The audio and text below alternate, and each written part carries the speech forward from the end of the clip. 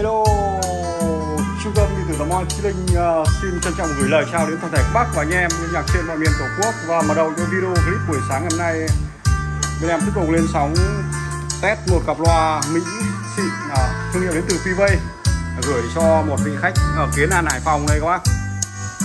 Wow, một cặp loa PV Mỹ xịn thương hiệu đến từ Pivay cặp loa này có cái model là 1210DN cấu hình một bát 30 một chung 25 một tép kèn đã được bác kiên chốt bên em là buổi sáng ngày hôm nay này các bác đây, bát 30 các bác nhá.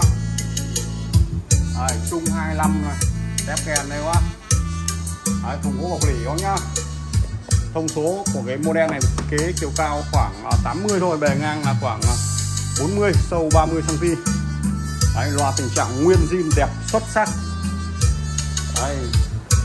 với cặp loa PV 3 tiếng Mỹ xịn này các bác anh em chơi không gian gia đình à, ghép với một quả súp 40 hoặc à, một quả 50 Đấy.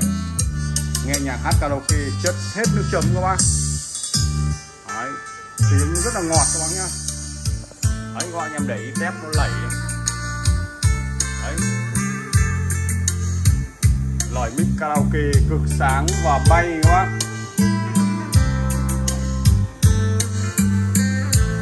các anh em nên đầu tư những cặp loa Mỹ PV ờ, với cái phân khúc 10 tầm 10 triệu ờ, 500 Đấy. Bao ship toàn quốc những cặp PV 120DL ờ, hay là những cặp uh, Bass 40 Đấy, 115DN, 115HC các anh nhá. Đấy, với phân khúc 10 trên 10 một chút thôi bao ship toàn quốc. Bảo đảm chất âm miễn bàn các bác. Đấy. Các bác thấy chi tiết không? Đấy, nền nhà cực kỳ chi tiết sạch sẽ các bác nhá.